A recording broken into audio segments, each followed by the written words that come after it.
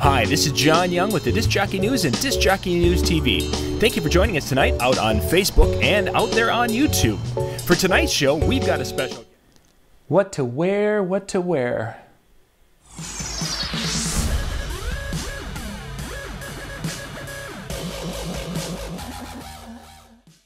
Hey, this is John Young with the Disc Jockey News and Disc Jockey News TV. Today's Tuesday tip, we're going to talk about attire. What attire do you wear to weddings? Now, when back in the day, it was something that, that well, you've, you've, heard of everything. You've heard of ripped jeans, t-shirts, shorts, uh, polos, button-down shirts with no tie, button-down with tie, vests and tie, suits, whatever. What is the thing to do today? A couple of aspects. First off, it depends if you have a look. Now, if there's a certain look that you have, there are some DJs out there who are very trendy and they have a certain look that they're going to they're going to do. And that might mean that they have more of a uniform, and I don't call it a uniform like what you would see worn at a big box store type of uniform, but they might have a type of, of um, stylish shirt and a stylish this and stylish that that they wear at their shows. If that's you, that's what you do.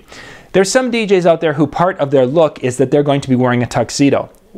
Is that for most DJs? No. Most DJs should not be wearing a tuxedo because that those days are kind of over right now. They may make that circle and come back. But let's face it, if your style, if your brand is the big bow tie and a colorful tuxedo, because that's what you do, that's what you do. You do those things. You don't break from your brand. You're creating that brand, and that's what you do. If you were in Mobile Beat a couple of years ago and they were talking to Red Foo, Red Foo basically discussed the idea that you have a brand and you have to live that brand wherever you go, day in, day out, because that's what people expect from you. So if your thing is a bright suit, bright uh, tuxedo, and a bow tie, or whatever it is, you do that. Now, for those of us who don't have a brand like that, then it's something that you want to either dress as an entertainer, that you're going to be wearing a nice, uh, gentleman, a nice black suit. Maybe that's the entertainer look you're looking for, or a gray suit, but you're wanting to have a nice suit or something that fits nicely, yeah, tie, shirt, whatever you want. But you don't want to look like the wedding party. First off, I don't want to look like anybody in the wedding party, and I don't want to look like the wait staff. Those two are big, and I'm, and there was a day when it's like, oh yes, you look just like the wait staff, you know, with your tuxedo shirt and your and your your little bow tie because that's what the wait staffs were wearing for the longest time. Well, I don't want to be that person. I don't want to have people coming up and say, "Excuse me, sir, can you freshen up my drink?" No. Excuse me, sir, where's the bathrooms? No. Over there. Anyway, you want to make sure that you have your look and your look is unique. You don't want to, again, look like the wedding party, and you don't want to match the colors of the couple. Oh, I know some people are like, oh, I like to make sure I have my vest and tie look like the, the same color as the bridesmaid's dress. Stop it. You're not part of the wedding. You're there to enhance and help them have a great day. You're not part of that, that scene.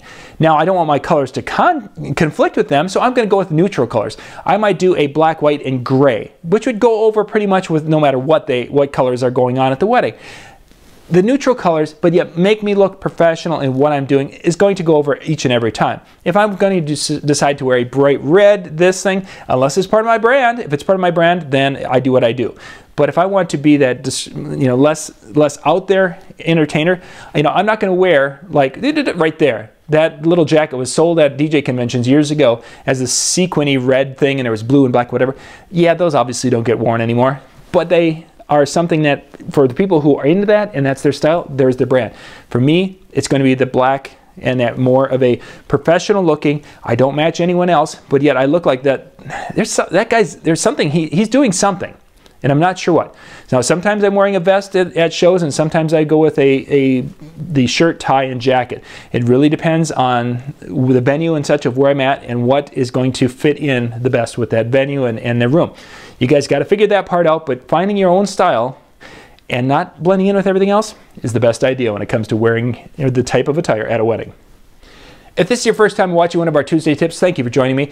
If you have got a tip on what you're doing for your attire and how you do it, please put that down in the comment section down below. People are coming to these these videos and they're having questions and they're wondering, you know, how does this, you know, how do other DJs do it?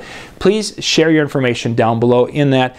Others would love to learn from you and your experiences. You also get a chance on Monday nights to go to our djntv.com uh, page. Go click on the convention series link and find out uh, our weekly educational content that's on the convention series, which is basically a convention level seminar that's being brought to you live every Monday night at 9 o'clock Eastern. Go to the page, check it out. Join us on a Monday night there. You can definitely do that. It's some great information. And if you join up with the DJNTV Insider area, you're going to get the current shows and all of the back shows. We've got like 80 videos, I think, now in that area. That's all available for our DJ, DJNTV insiders, djntvinsider.com. Thank you for watching.